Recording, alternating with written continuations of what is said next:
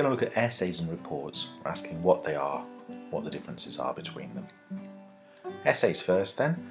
This is a little bit of the etymology of the word. I'm using one of those Google cards that you get when you type define into a Google search engine and then the word that you're interested in. So I type define full colon essay and I got back this card and it shows me that the current word essay goes back to the late 15th century and it means something like test the quality of, but it relates to this, these other ideas here. So this, uh, in English, an assay office was a place where you took your gold or your silver to have its um, percentage of gold and silver determined You know, measure the amount of gold in my gold ring, as it were. Uh, in Old French has a very similar meaning. It, it's, that's to do with minerals again, and this one here says that's um, trial in the legal sense. But you can think of that as you know a legal trial tests the quality of the evidence that supports the claim being brought by, say, the prosecuting counsel. So that's we can see from this that there's an idea connected with testing or trying, but it's also got a connection with weighing and measuring too. So essays typically collect ideas, theories, and research evidence that have been put forward by other people. And we might do this for a number of different purposes. For example, to compare and contrast one with another. So if we have, say, two competing theories for something, we might compare and contrast those theories in an essay by looking at how well they respond to the research uh, and what ideas they give us about which ones we're going to prefer for which purposes. We could use um, uh, an essay to, to try and draw out support and illustration of, of a theory by an idea and by the research evidence. So an, an example here would be the ways in which we can theorise and explain the idea of recurring patterns of domestic violence. So we can use evolutionary psychology theories to explain why it is that victims of domestic violence appear to find uh, perpetrators of violence attractive. And so we, we might look to things like, well, the physical characteristics that make the, the perpetrators of violence attractive are also the physical characteristics that make them successful perpetrators of violence. So big muscles and square jaw and stuff like that are indicators, according to evolutionary psychology, are indicators of um, better, better chances of survival, stronger genes as it were, but they are also indicators that the person has the physical capacity to dominate others. Um, we could look for um, gaps or lacunae. Lacunae is just a fancy word for gap there. So bits in our understanding that are just missing. So if we were thinking about um, the classic uh, explanation of short-term memory put forward by Atkinson and Shiffrin, they suggested that uh, short-term memory was encoded entirely acoustically, but that doesn't explain how it is that we appear to have short-term memory storage for visual objects without representing them by words. Um, so there's a gap there in our understanding our theory. We could use an essay to explore that. So we could look at the research evidence that shows that there are iconic visual memories in short-term storage and then say, well, how does that, why is it the theory doesn't have that idea in it? And maybe use that to develop a new idea about what sort of a theory you would need uh, and point towards something like Baddeley and Hitch with the two modes of short-term storage that we find in the working memory model. We can also use an essay to identify contradictions or incoherence in the way something is understood. An example of this would be Skinner's rather famous account of aversion. You know, people people become averse to stimuli because they have negative associations with them. So you, you encounter something, it's painful or uncomfortable or distressing for you, so you don't go near it again. Well, there's an contradiction, there's an incoherence there in that people very often engage in, repeatedly engage in behaviours that result in negative experiences. Um, people drink too much beer and they wind up with hangovers. They know the hangover's in the post and yet they drink the beer. So there's, a, there's an incoherence or an inconsistency or contradiction in a purely Skinnerian account of behaviour. So those are essays. And, you know, there's a bunch of other purposes you could put an essay to. I'm sure you can think of others. This is no means an exhaustive list. What I'm trying to suggest here, though, is that this, an essay, is something that happens on the page in front of you. It's done in front of you at the point at which you read it. So it's a present tense activity. It is a trial. You're trying something out in front of the reader right there and then. And that is what distinguishes the essay from the report.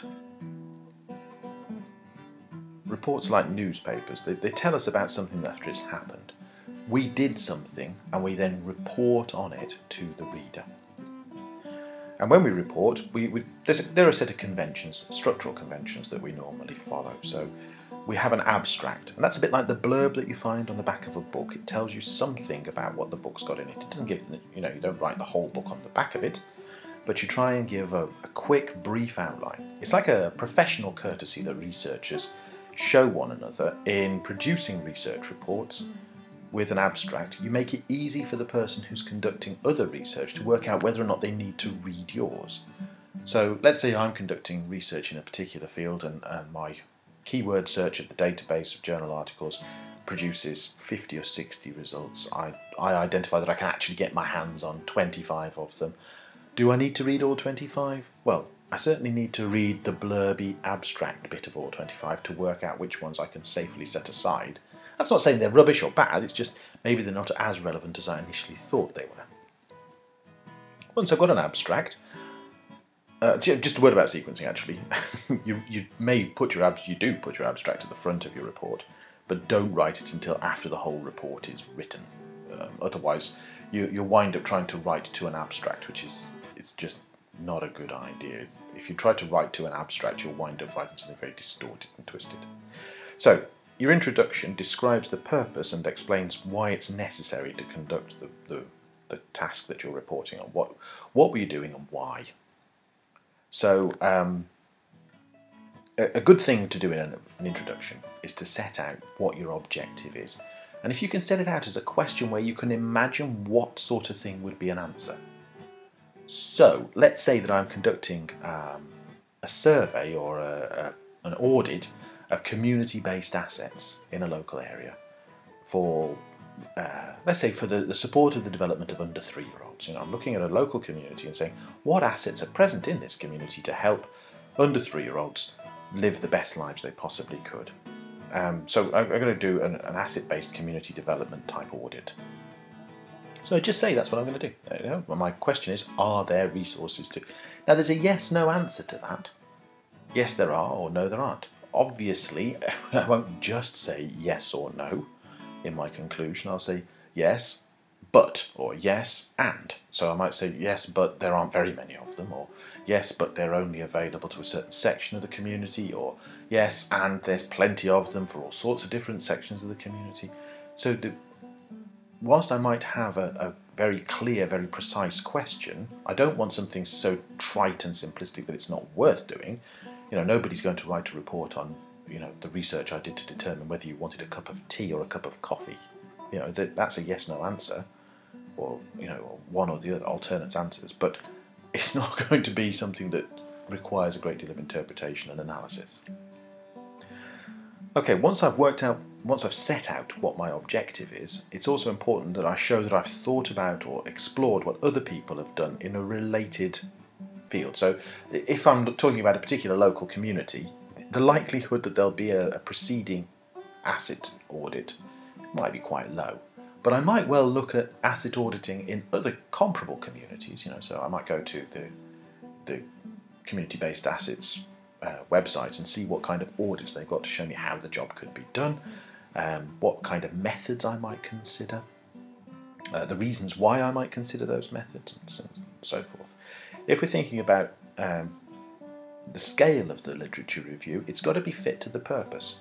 So if you're producing a report on a field exercise that's got a shelf life of a couple of years, you're not going to spend a lot of time reviewing the literature because that would be a waste of time. So the scale would be quite small. You might even only look at five or six relevant pieces of research. If we're thinking about something much more substantial with a, a longer purchase, you know, something that's going to hold true for a longer period of time, then we would obviously we would need to inform that with a better overview of the relevant literature. Now I haven't included anything about method and methodology here because I'm imagining um, a, a very basic, very simple report where your method and your methodology would come from these two things here. So your introduction would say what you're going to do, and your literature review would show why you chose to do, you know, why you chose those methods. But you could, if we were thinking about a larger scale report, have a separate methods and methodology section. Or if we were thinking about an experimental report, we would normally have a, a clear description of method. So um, once we've got that idea down, we're going to go to the report on the results and findings. What did we actually learn from our exercise? And these findings might be expressed in terms of diagrams and charts. Know, as we can see here, little what I call these trend lines and things. But it could also be in terms of just simply summary statements. So let's imagine that we conducted that community-based asset um, audit, and we we found out stuff by conducting interviews and question focus groups. Yeah, so gone and found a local parents group and said, oh well, let's talk to them about what assets they they feel are available to help their children develop, and are they useful, are they valuable, are they accessible, blah blah.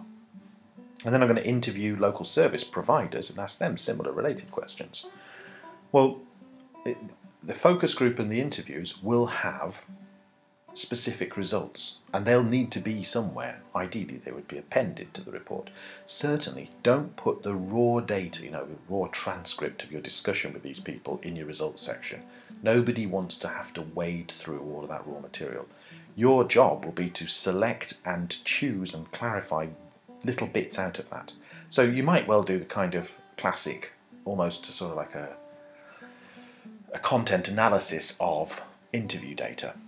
So you've got a lot of qualitative, semi-structured interview data, which you look back over your notes from, uh, and you see, oh, this professional said that, this professional said that. There's a common theme there in what they're saying, and lo and behold, the parents group said something on the same theme as well. And so you can say, well, these themes emerged from the qualitative data in the interviews and focus groups, and that's what would be the result. If we'd got a more quantitative thing, clearly you're going to have a table or some kind of summarizing statistic for it. So let's say um, I, I, conducted a large scale questionnaire survey of the parents in the local community and got somehow managed to get a very high response rate. You know, one thing of another. I'd got you know 60% of parents saying that this resource was the most valuable one and that it was most accessible and 30% said something different i'd have those percentages and ranges of variation and stuff like that in my results Having done that, I'd have to move to a kind of a discussion. And the discussion is going to be like the most important bit, I think, of the report because what it's doing is it's trying to establish the connection between the objectives, the questions that we set ourselves in our introduction, and the data that we found. So, does this stuff allow us to answer these questions? So, here we're going to discuss what we found out and we're going to go back and, and look and see how does it connect to the questions that we actually asked. And at this point, you even find people will be saying things like, well, having conducted my research, I now realise that the, the questions that I asked in my questionnaire didn't actually provide me data that would respond to my original research objective. You know, maybe I was asking the wrong group of people, or I asked a dumb question rather than a smart one, or something like that.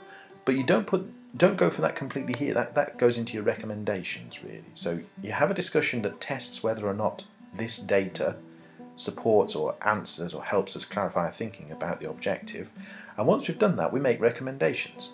Now, the recommendations could be about the objective, you know. So, if I'm thinking about the asset based community development thing, I'm saying, well, what we need to do on the basis of the data I've collected is we, need to open uh, another uh, play group in this part of the, the local community. So, you know, that's what's needed.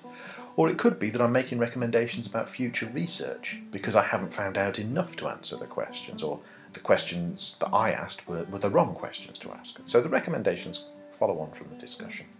And then finally, we move to a conclusion which summarises the report and revisits the aims and objectives, suggesting answers or responses to them. And this is the thing, you remember I said at the beginning, essays and reports, what's the differences? Well, this is the thing that's the same.